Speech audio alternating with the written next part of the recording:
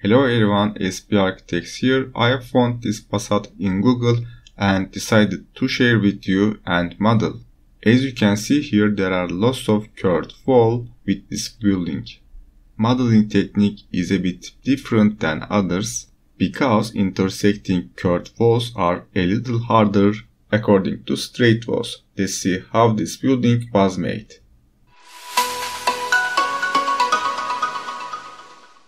Alright, here we are in ArchiCAD.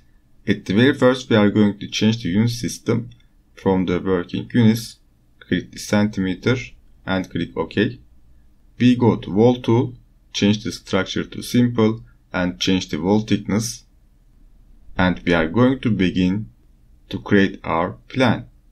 Before beginning this, I've sketched this facade into the paper. So I'm looking there but it was hard to estimate dimensions for the building so I changed some values and decided into modeling process. For instance, we are going to leave a space for the facade, but I think it's going to be toilet or something like that. For this reason, when I am drawing this, I'm gonna make this part larger. In the example facade, this part is going to be curved wall. To achieve this first, or actually we have two kind of process or options. First one is we just make straight corners. After that we can turn them into curved walls. After doing this we are going to place a window here. So in order to place a window here we need an actual space. Thus we need to increase this length of the wall and from this corner we switch to balcony so we need deeper space for the balcony and there will be 180 centimeters sliding door plus a closed facade attachment and we finish the building by this ending wall. We can also connect this wall together and make a straight building. Now we continue from balcony. A standard balcony needs 150 centimeters. And after that we will have another curved wall and we continue modeling our basics. For this corner we are going to create a curved wall. We have two options here. We are gonna use arc by center point. Generally I'm using basic line and after creating that I turn them into a curved one it suits me better, but for this situation I prefer creating curved walls from scratch. Once I created one of them, I'm gonna duplicate and with it I'll speed up my working process. Alright, once we created our main walls, I'm gonna change this wall into a parapet wall so I'm gonna change the height its appearance changed because we changed its height. Once we created this, as you can see here, we have another corner. We're gonna turn this one into a curve. To make it, we're gonna click corner and click fillet chamfer. And same process will be applied here. Let's click this fillet chamfer and hit OK. There we go. This part is going to be our balcony after making this, we are going to add our windows. To make windows, we are going to use simple windows or we can use a door, maybe a sliding door. Let's click the door tool and let's go to sliding doors. We have sliding door 25 and we're gonna make this tree, hit OK and place. But before that we can change its height and size. But unfortunately, as you can see here, it's a little bit larger. So we need to increase the size of the length of the building. After doing that, we can place our window. Same progress will be applied here. We are just going to stretch our building to right 10 centimeters more and connect them together and also here and maybe towards this direction. Alright, let's extend them together and finish them at the same point. We have a kind of problems here. Let's try to intersect them together again. And we have a gap here. Let's move these windows. We can intersect these two. And once we achieve this, we are going to create our second door, sliding door. Same progress is gonna happen, but this time we are going to change this leaf number and also width. Let's place this wall and move to corner. Let's just give 10 centimeters. And of course we need more opening in front of the window. So let's mesh them each other and fix this extended wall. To fix the height of the walls we can use Alt click and we can inject parameters with Alt plus Shift. Alright, now we finish our plan and we can switch the 3D window. In this 3D window everything looks different. For instance, the building needs to be extended more. Let's select this part and move aside. After doing this, we can fix the height of the parapets. Actually, those are not parapets. They are going to be used as planting pots. So we don't need so much height. Also we can finish it from the starting position of the window because there will be earth element inside the planting pot so it mustn't cover the sliding doors. We don't want any isolation problem. Also I want to match all of the height of the walls together. So let's select them and change their height. I want to see them as whole story, story level actually. Once I've fixed the height of the walls, we can change our visibility settings for the floor plan. I want to rule all of the walls in the same story. Once we achieve this, we are going to create more story because I'm gonna move this one to another level and in the story settings we can change our elevation settings according to the visibility and our designing purpose. Alright, now it's time to creating slabs. To make this easier, I am going to change the structure type to simple and I'm going to do this with two separate parts. First one is going to be inside and second one is going to be outside. But when I'm making this, in order to see clearly, we must see minus one story too. Let's try to see this and try using them as a border. But unfortunately Magic Wand tool isn't working. Unfortunately it doesn't see underlay. For this reason we are going to find another way, which is clicking one by one.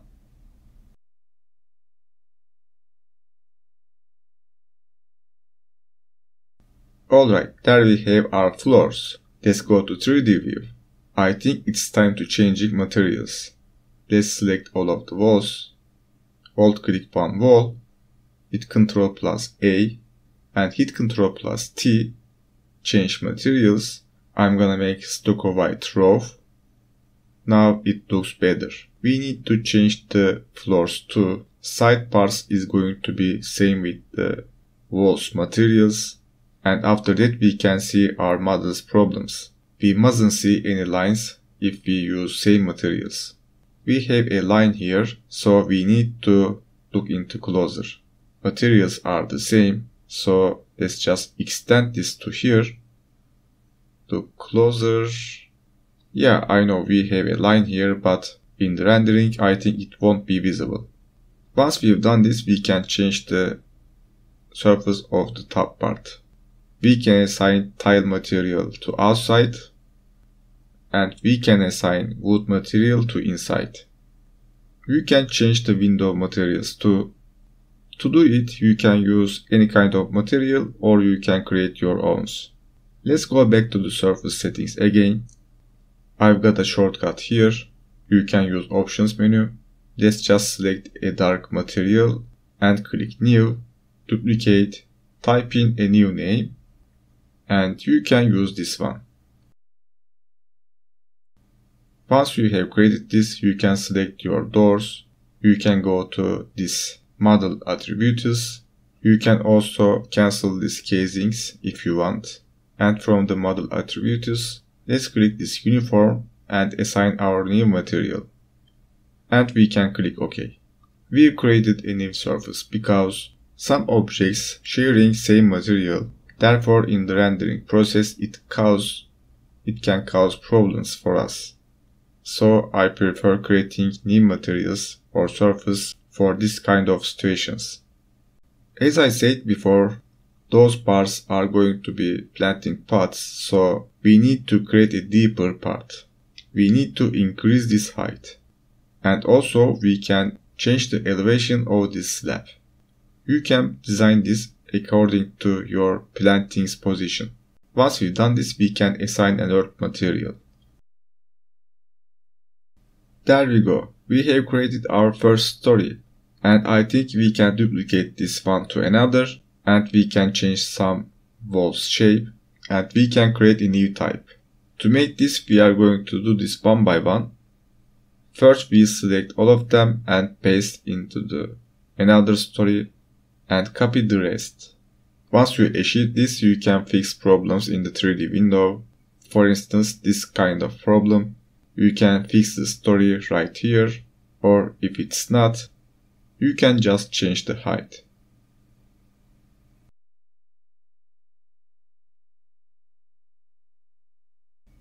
Once we have fixed the problems, we can just select all of the elements just like that and you can copy to Z direction.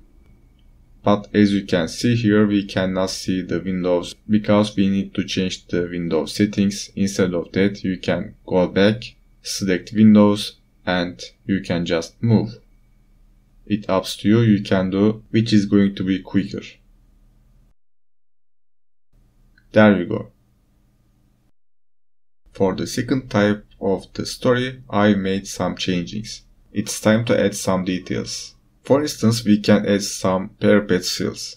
There are lots of ways to make it. One of them is selecting the base object, base wall, and duplicate along the z-axis and changing the height and material.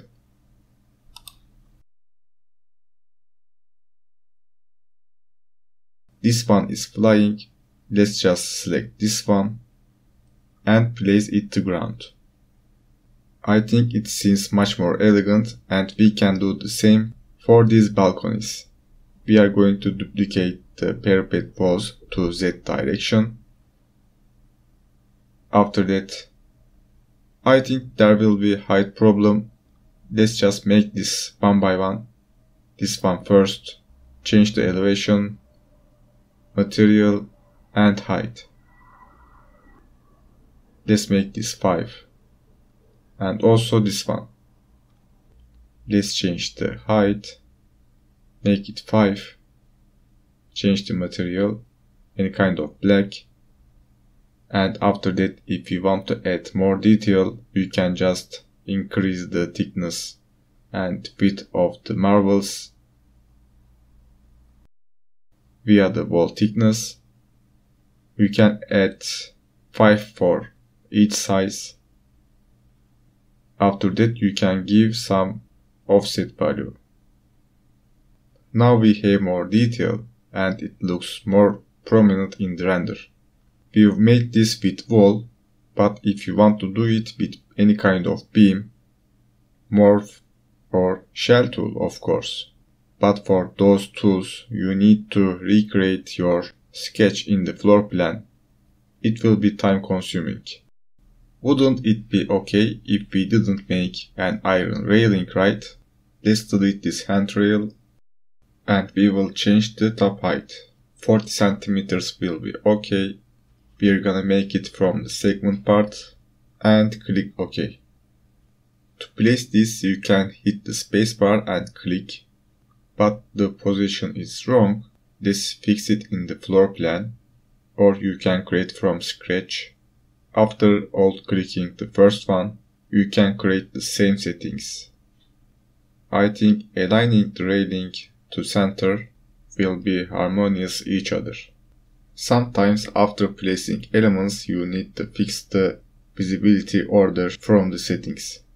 You can also play around with the settings for the ending parts. And we will have this. But I think we need to change some settings. I want this to be more elegant. To do that we can delete the segment and gonna add more top rail. If you want to change its position, you can change the settings. It's gonna be 20 centimeters away from the bottom. Offset will be 0.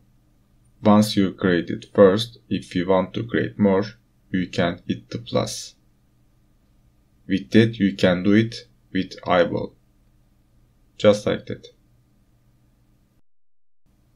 I think one more step in the end we can add ending parts for our railing. I think it looks very lame with this setting. So let's go back to end and let's give it 10 centimeters more. Let's do the same with the left side.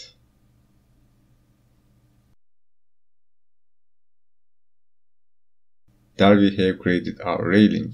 Now it's time to copy. You can just make this with Shift plus D and we can input 320 centimeters. Alright guys, this is the base part for the how you can create a curved wall facade in ArchiCAD. If you have questions or suggestions, please let me know in the comment section below.